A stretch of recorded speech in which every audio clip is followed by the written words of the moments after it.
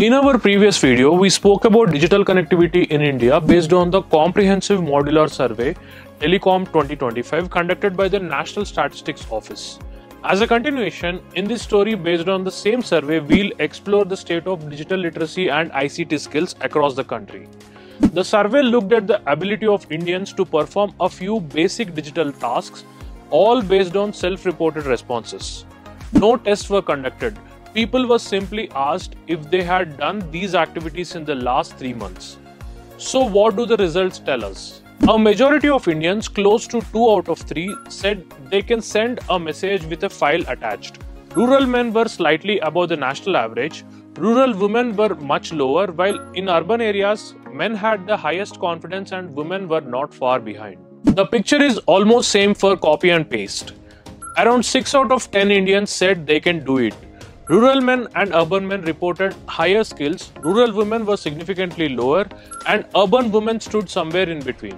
Things change when we look at presentation making.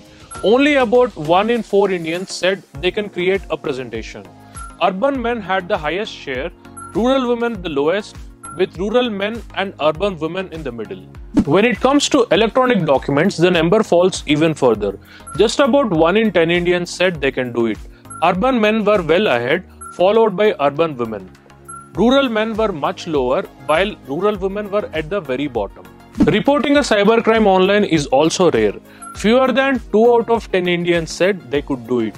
Urban men reported the highest ability, while rural women were the least likely. For emails, about 4 out of 10 Indians said they could send or receive one. Urban men again topped the list, followed by urban women. Rural men were just around the national average, and rural women lagged far behind. Finally, online banking. Roughly half of Indians said they can perform an online banking transaction. Urban men were far ahead, rural women were at the bottom, while urban women and rural men were in between. Among those who do online banking, more than 80% rely on UPI. Very few use net banking alone, while about 1 in 5 said they use both UPI and other banking methods.